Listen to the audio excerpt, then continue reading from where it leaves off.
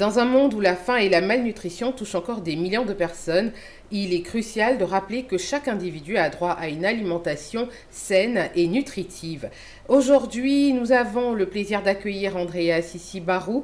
Elle est chargée des relations extérieures et de la mobilisation à la Banque alimentaire de Côte d'Ivoire pour discuter des enjeux liés à ce droit fondamental. Bienvenue Andrea. Bonjour Mam.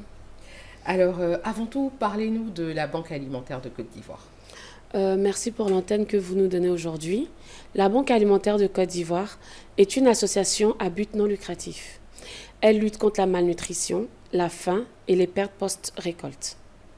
Très bien. Et euh, qu'est-ce que vous faites au quotidien? Au quotidien, on recueille les invendus des supermarchés, on reçoit les dons des entreprises, des partenaires ou souvent des personnes physiques qui nous font des dons de denrées alimentaires. Et quand nous les recevons, nous les trions nous les stockons et nous les rangeons. Et ensuite, nous passons à la distribution de manière gratuite aux plus défavorisés. Très bien. Alors, comment vous définiriez le droit à l'alimentation? Euh, Pour la banque alimentaire, le droit à l'alimentation est un droit que chaque personne a de pouvoir avoir de la nourriture suffisante, saine et euh, qui puisse lui donner une bonne santé et une vie active. Alors, euh, quels obstacles existent encore à l'accès équitable euh, à une alimentation suffisante et nutritive aujourd'hui? Euh, Nous avons déjà la pauvreté. Nous avons le manque d'infrastructures. Et à certains endroits, il n'y a même pas d'infrastructures. il y a les inégalités sociales aussi. Et surtout, surtout, surtout, l'impact environnemental. Très bien. Alors, qu'est-ce que vous entendez par inégalité sociale? Inégalité sociale, c'est les plus faibles qui sont toujours euh, marginalisés par, euh, on dira, la, la population un peu plus élevée qu'eux. Alors, selon vous, quelles, sont les, quelles politiques devraient être mises en place pour garantir le droit à une alimentation pour tous? Euh, Pour cela, déjà, il faut une politique environnementale. Il faut pouvoir investir euh, euh, dans l'agriculture, euh, opter surtout pour l'agriculture durable et stabiliser sur tout ce qui est très important de nos jours, les prix de, des denrées alimentaires qui ne font qu'augmenter. Et ça, met vraiment mal, à mal en point les, populations qui n'ont pas un revenu assez élevé. Et ça creuse davantage le trou de la, de la pauvreté en Côte d'Ivoire. Alors que, fait concrètement euh, dans ce sens alors la, banque alimentaire? La banque alimentaire, comme je l'ai dit tout à l'heure, euh, va vers les, supermarchés, vers les hypermarchés, les entreprises pour prendre le surplus alimentaire, c'est-à-dire le surplus de production. Elle les récupère et les redistribue aux plus défavorisés à travers son réseau associatif de partenariat. Euh, il s'agit entre autres des ONG, des associations, des orphelinats et des cantines scolaires. Et comment ces, ces associations sont euh, choisies? Euh, Il faut euh, déjà faire, on fait déjà une enquête pour voir la l'impact en fait de, ces, de, cette association. on, on, recherche en fait les actions qu'elle mène et surtout on travaille qu'avec des associations qui sont légalement constituées. Voilà. Et selon vous, quel rôle joue l'éducation? Parce que j'imagine que vous faites de la sensibilisation. Exactement. Quel rôle joue l'éducation euh, dans la promotion du droit à l'alimentation et dans la lutte contre la malnutrition? Euh, La Banque alimentaire fait de la sensibilisation dans les écoles pour éduquer les plus petits. Pour que cette éducation, ils puissent grandir avec cette éducation et améliorer les habitudes euh, pour la protection de l'environnement.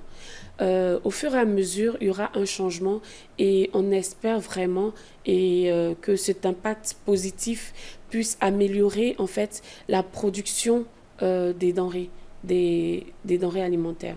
Parce qu'avec le côté négatif du gaspillage, euh, la, production est moindre, donc ne suffit pas.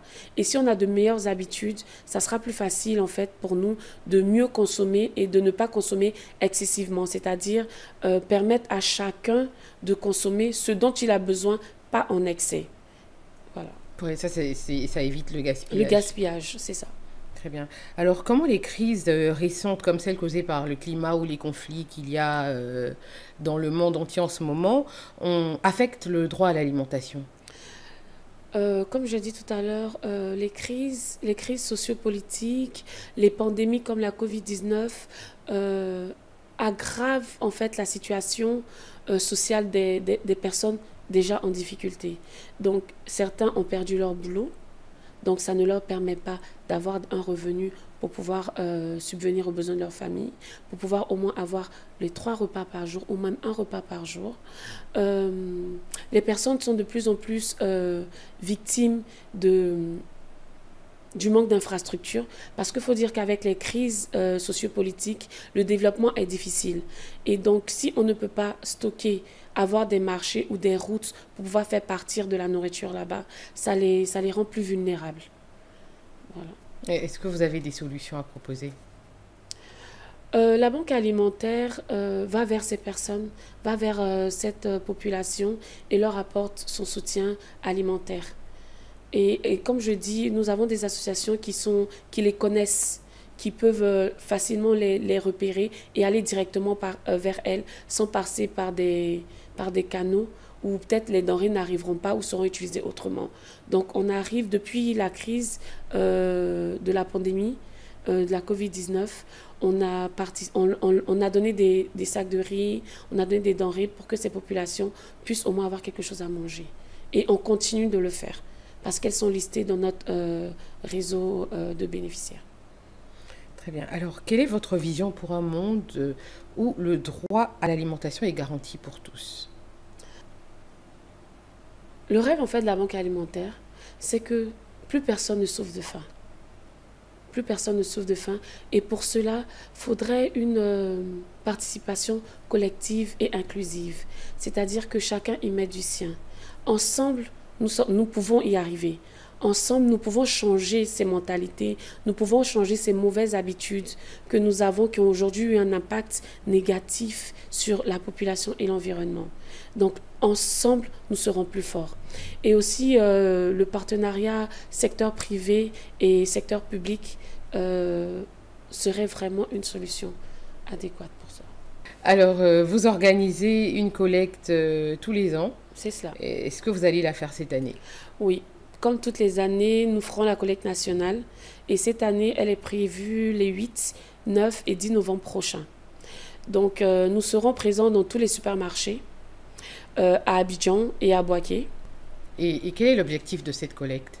L'objectif de cette collecte, c'est de permettre à la banque alimentaire d'avoir beaucoup plus de denrées alimentaires sur une, sur de, une longue période par rapport aux dates euh, de péremption.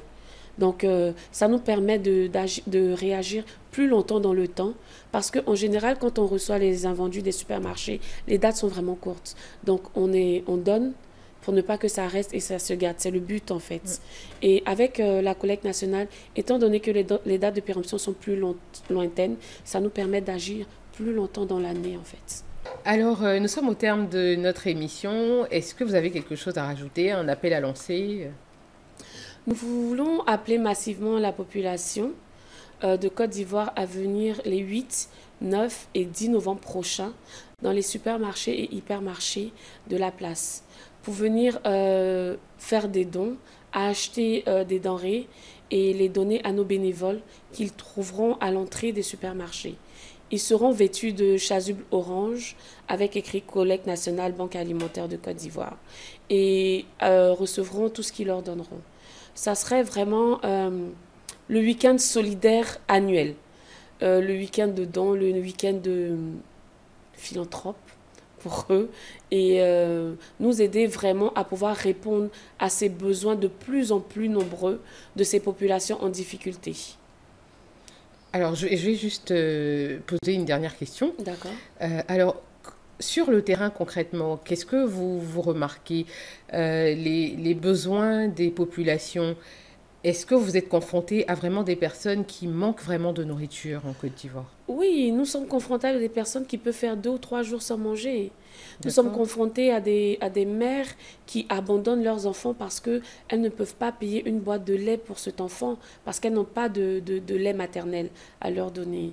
Et euh, aujourd'hui, nous sommes face aussi à des étudiants qui aujourd'hui ont été chassés des, des universités et qui viennent vers nous pour nous demander de la nourriture et de l'aide, parce que c'est vraiment compliqué. Et euh, les, différents, euh, les différentes populations qui ont été chassées des zones à risque également euh, sont dans des difficultés. Et toutes ces populations sont vraiment, vraiment, vraiment, vraiment dans le besoin alimentaire.